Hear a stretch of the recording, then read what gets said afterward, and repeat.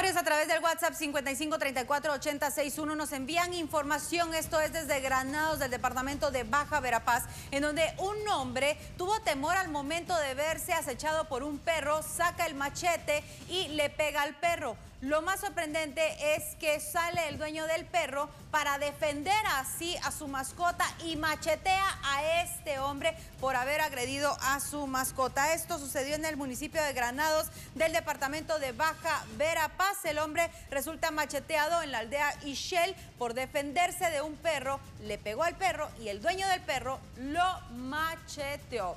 Con esta información nos vamos a una pausa. Regresamos enseguida.